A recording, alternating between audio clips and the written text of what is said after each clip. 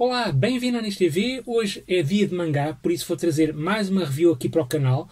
Hoje vou trazer a review de Gannibal 2, uh, segundo volume, lançado pela editora Seita, e um mangá da autoria de Masaaki Nino, Ninomiya. Um mangá que eu devorei autenticamente e até canibal, devorei completamente o primeiro volume, deixou-me com aquela ânsia de querer ler, mais e finalmente então a Seita lançou este segundo volume que eu desde já agradeço a gentileza de ter enviado aqui para o canal para eu fazer a leitura, review aqui na Niji TV.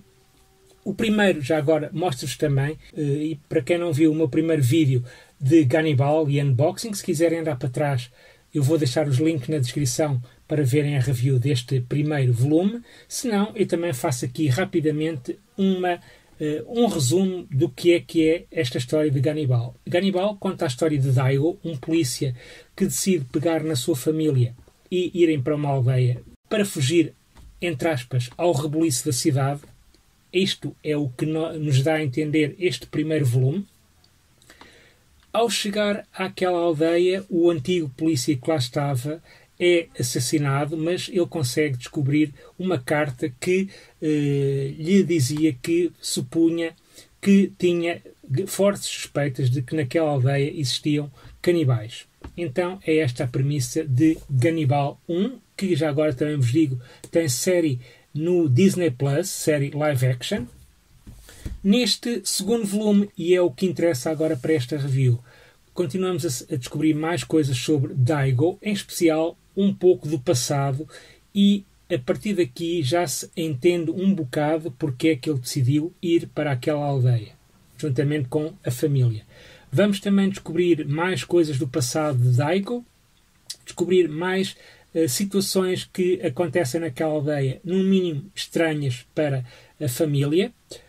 Vamos conhecer também novas personagens e é um mangá que eu estou completamente viciado. Se gostam de mangás de terror, se gostam de policiais, se gostam de thrillers e de suspense, não hesitem em pegar nesta série.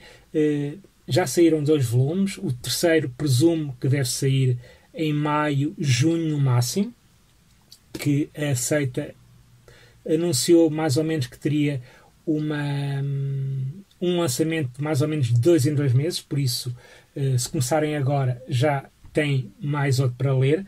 Uh, o desenho de uh, Masaaki continua incrível, gosto muito do desenho dele, gosto muito, aliás, podem ver logo pela capa como é incrível o desenho, contra a capa também vos deixo aqui, e vou-vos então mostrar as primeiras páginas para vocês verem como é o desenho do